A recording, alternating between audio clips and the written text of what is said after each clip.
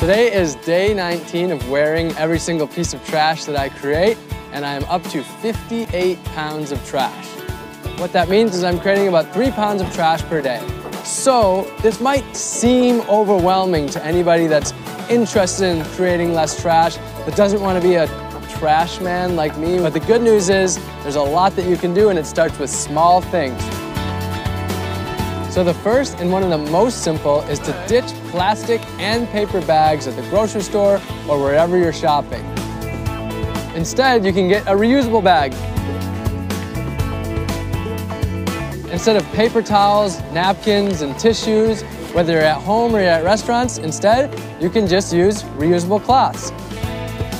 It's really convenient and easy to just get disposable cups when you're getting your coffee or your tea or something like that. It's really easy to just bring your own cup or your own mug and doing that, no more cups to the landfill.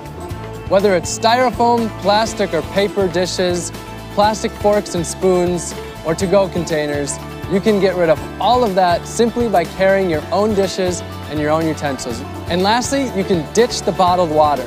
This will keep thousands of plastic bottles from instead, just bring your own reusable bottle wherever you go and fill it up at home or when you're out. So those are five things that we can all start today. They all will save you a ton of money and they'll decrease the amount of trash that you're creating.